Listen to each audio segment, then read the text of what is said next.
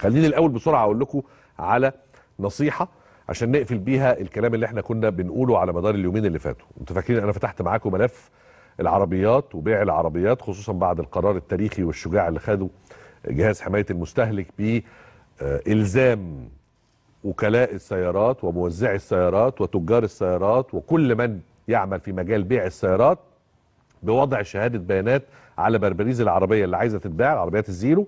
فيها كل البيانات وفيها السعر النهائي شامل الضريبة وشامل كل شيء وبشكل ثابت. وده محاربة لظاهرة ال over price أو الفلوس الزيادة اللي بتحط على العربيات وما إلى ذلك بقى من ظهور الفواتير الأصلية بحيث إن أنت تبقى عارف العربية دي طلعت من الجمرك بكام وتحط عليها فايدة كام أو الربح كام وتحط عليها ضريبة كام. فكل شيء يبقى على عينك مش يا تاجر لا على عينك يا مشتري. على عينك يا مشتري. ولما كل حاجة تبقى على عينك يا مشتري ما يضحكش عليك. النصيحة اللي أنا عايز أقفل لكم بها القصة بقى لأنه أنا بقول لكم إنه سوق تجارة السيارات هتشهد ضبط يحدث في رأيي لأول مرة من سنوات طويلة جدا جدا جدا وهيمنع التلاعب. اللعبة اللي كانوا بيلعبوها بقى شوية الوكلاء يرموا القصة على التجار والتجار يرموا القصة على الموزعين والموزعين يرموا القصة على كذا ودوخيني يا لمونة وإحنا في النهاية اللي بنتعصر في النص. إحنا المستهلك أو العميل أو المشتري أو الراغب في شراء سيارة هو كان الليمونه اللي كانت بتتعصر ما بين التجار والموزعين والوكلاء. كانوا بيلعبونا لعبة الايه؟ بلاش الكلب الحيران المشتري الحيران. خلاص. جزء كبير من أبواب التلاعب اتقفل خصوصا كمان مع القرارات المهمة اللي خدها الجهاز فيما يتعلق بوصولات الحجز إن أنت تروح ترمي آه، 10000 جنيه ولا 50000 جنيه وتاخد وصل حجز وبعدين الوكيل أو الموزع يقعد يلعب بيك بقى ويقول لك هتستلم بعد ست أشهر بس السعر بعد ست أشهر هيبقى ما ما اضمنلكش إمتى؟ وممكن لو ما استلمتش بعد ست أشهر أو ما فيش عربيات هرجع لك فلوسك ويمكن كمان بالقسط. كل الكلام ده خلاص أصبح في حكم الماضي.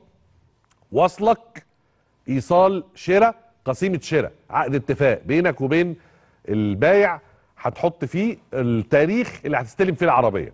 ولو ما سلمكش العربية في يومها تاخد فلوسك كاش وعليها فوائد التأخير.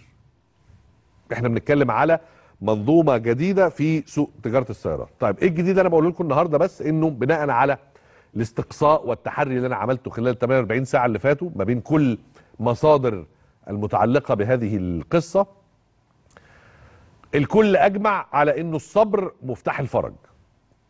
يعني إيه؟ يعني ال ال ال القرارات الجديدة اللي اتخذت من 48 ساعة دي هتحتاج كام يوم أو كام أسبوع لحد ما تنطبق وتتنفذ وما يبقاش فيها تلاعب وتبقى على الكل ويبان تأثيرها. رقم اتنين الشح أو القصور شوية في عدد السيارات المعروضة في السوق المصري خلال الفترة اللي فاتت هيفك خلال بداية سنة 2022 على نهاية يناير كده الدنيا هتفك وهيبقى في وفر. الكلام ده جبناه منين؟ جبناه من مصادر لينا هنا في وكلاء السيارات اللي عاملين طلبات شحنات كثيرة جدا بالإضافة إلى مصادرنا بره إن العربيات دلوقتي ال- ال- الشركات المصنعة بتطلع كميات موجودة في أوروبا بشكل كبير وهتبتدي تتشحن على مصر خلال الفترة اللي جاية وبأعداد وفيرة.